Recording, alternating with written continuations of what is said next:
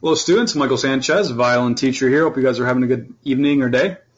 Uh, today we're going to be working on the E string and uh, giving you guys some tips regarding playing low twos. So the biggest thing that uh, you guys should understand is when you're playing on the thinnest string, which is the E string, it's important to have really good technique. A lot of times I like to teach the E string last because it's definitely the one that is prone to the most bad habits.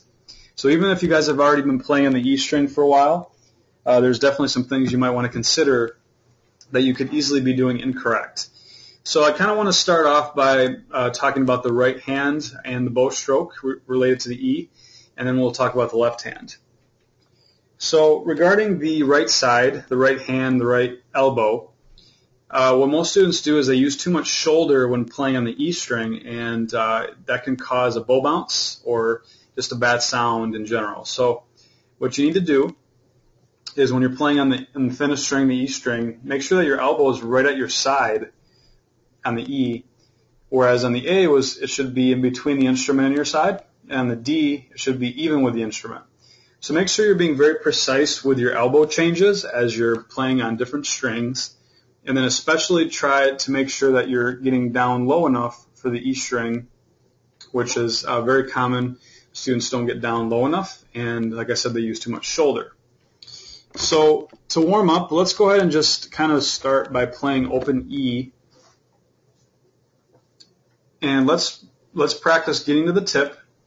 Let's make sure we're bending our wrist as we're coming up bow. It's really common for students to keep their wrists locked, so they're using too much shoulder and too much arm. So we want to basically practice extending and bending, extending and bending, while our elbows right at our side.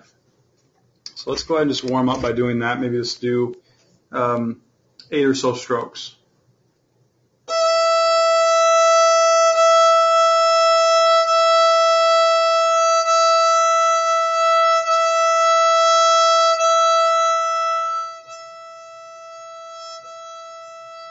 So it would be incorrect if I was doing this.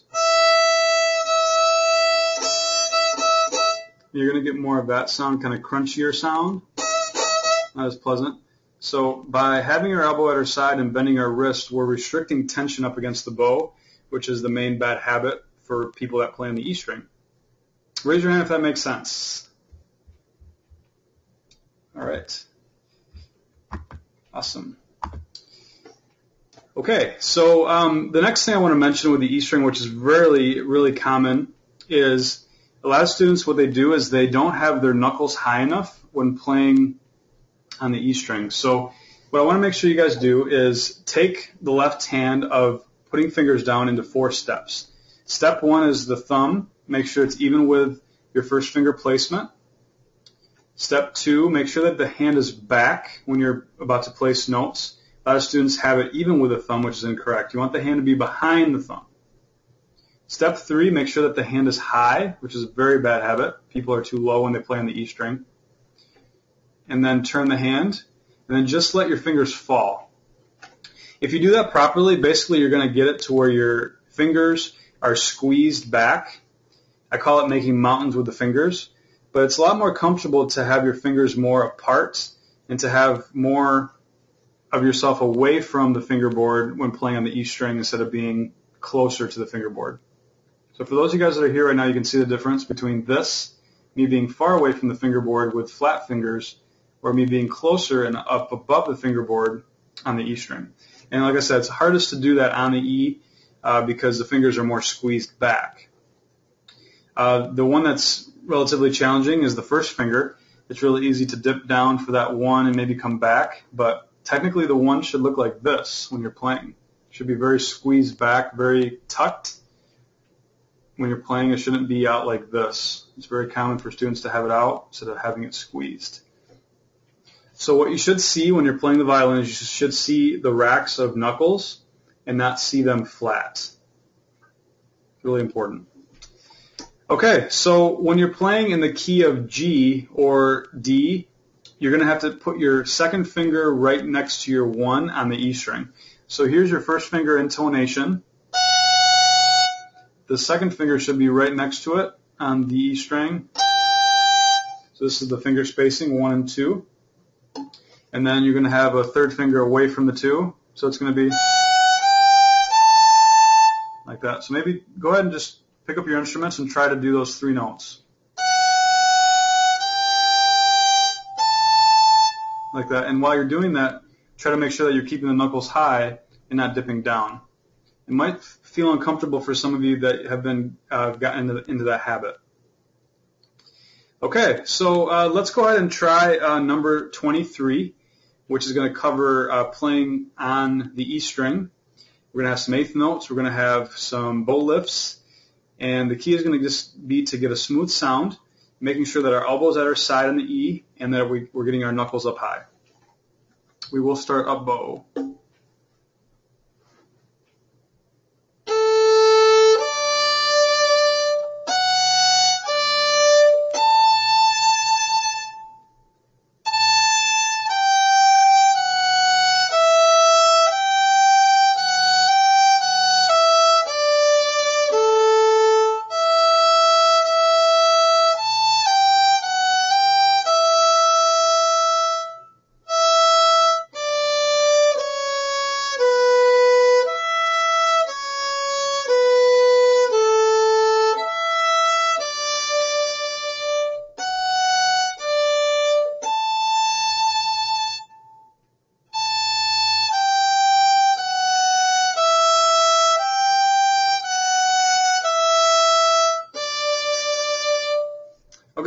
Guys probably noticed that I did not take the repeats or take the first or take the first ending. I took the second ending just to kind of make it a little bit shorter. But technically, the way that the piece is um, laid out, I'll just take my marker here so you guys make sure you understand. Um, you normally are going to take the first repeat. So you're going to go back to the beginning. Actually, sorry, it'll be right here. So you want to play this note start back here for the repeat, and then you're going to take another repeat back to here, and then you could take the first ending back to here, and then the second ending. So this piece actually can be a lot longer than what I just played it. Okay, so um, the biggest things there is making sure that your second finger low is in tune. I find quite often that that is out of tune with students. So let me just circle where those are at. And what I would suggest is that you guys use a metronome to match up the, the notes with the tuner. So on your metro, on your tuner metronome, this should show up as a G. But very likely you might be a little bit off tune there because what happens sometimes is students tend to reach for notes instead of actually just letting fingers fall. So if you let your fingers reach for the second finger, you guys that are here can see this, you're going to end up turning the hand like this and you're going to be out of position for like the three or back to the one just because your second finger was placed like this. So instead you got to keep the hand back and place the two like that so that your three can still get far enough and the four and so on. So make sure that you guys are hitting the twos in tune and then also another one that can easily get your hand off track is any, any fourth fingers. So I would any ones I'm circling, I would say try to match those up. Um, I would say E3 is also very commonly missed, a little bit out of tune, uh, based on bad finger angles. So try to pay attention to those notes. Um, sometimes students, if their hand is too low, they might be out of tune with the one on the E. Make sure that your knuckles are up high for those. Any E1s. so yeah, I would suggest using a tuner and just really trying to make sure that you're in tune for, for these notes. And uh, really the beginning is actually the hardest to get a clean sound because of all the string crossings. So what I suggest is that you guys work on getting a nice elbow change. You guys can do what's called the rocking bow drill to get kind of get warmed up, which is basically where you take your bow, set it on the strings, go up and down from your E string elbow to your G, and try not to make a sound. Try to be as quiet as possible rocking across the strings with your bow. If you're getting more of this sound, then you know that your um, your bow grip's too tense, and then you're going to have trouble getting a clean sound for that beginning. So you're probably going to get more of at the beginning that, which we don't want. But if you actually uh, cross strings properly and not grab the bow too tight, you're going to get a cleaner sound like this.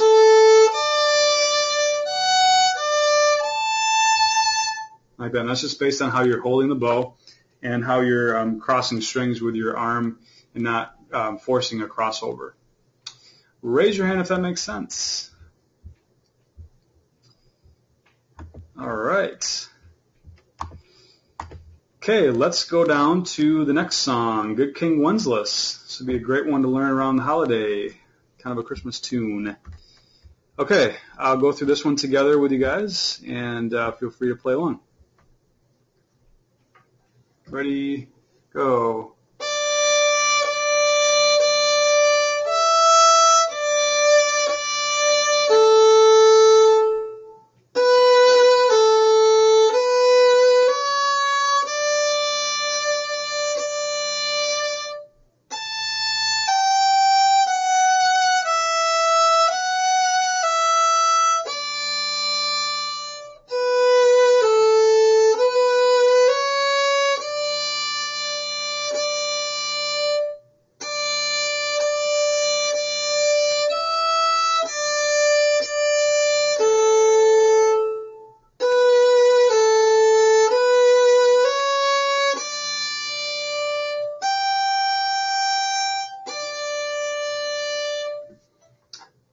Awesome. So at the end there, that's actually a really good um, exercise to actually try to keep your finger three down. So when I when I do this, this is common in music that indicates a third finger down indicator. So as I place this three, leave it down because you're coming right back to it here. There's no need to lift it up. But I see a lot of students actually do that when they play violin. They tend to lift fingers up when they don't need to. It actually causes them to have to put more effort in to find notes. Um, anytime you have to find an extra or put down extra effort, you're more likely going to be out of tune. So if you can leave fingers down as much as possible, uh, I would consider that being efficient. And um, obviously, you're going to have a lot better chance of playing faster and in tune. So right there, I would suggest that. But I think it would be very difficult or very easy for people to, to dip down too low at the end here, where their three and their two are kind of ending up where your knuckles are very low and away from the fingerboard. So try to do that while leaving your knuckles up. So let's just go ahead and do those last couple measures and see if you guys can do that. So I'm going to play the D, G to G, to D, sorry, with my knuckles up high.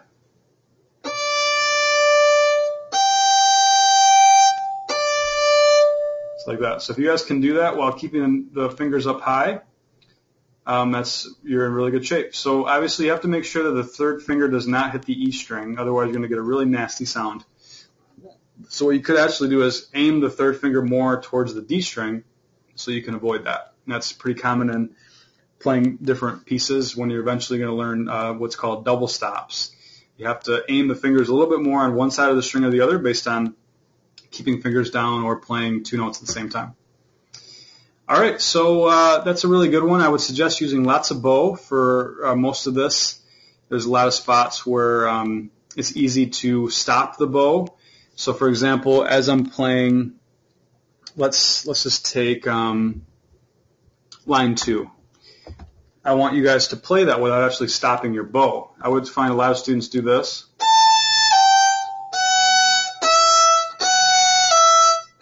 Lot of stopping of the bow. But what we should do is keep it always moving and transitioning the bow with the index and the wrist.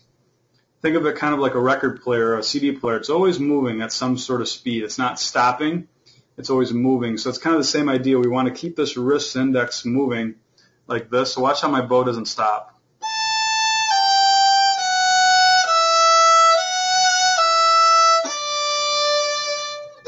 It stops for the rest.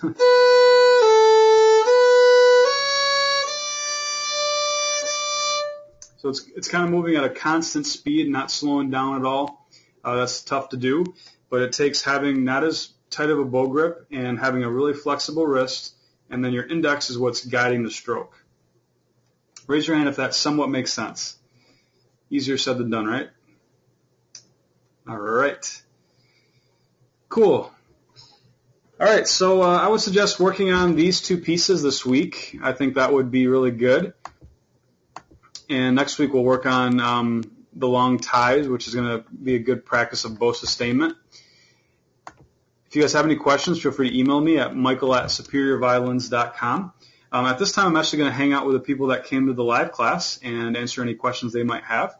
Uh, it's kind of an encouragement for you guys out there that um, have been only watching the audio recordings. Um, if you come to the live classes, you'll be able to see me and, and ask questions and hang out. Um, and that's done every week. Uh, this class runs every Monday um, evening at 8:30 p.m. Eastern Time. Thanks so much for watching, and um, hope to see you guys in a future class.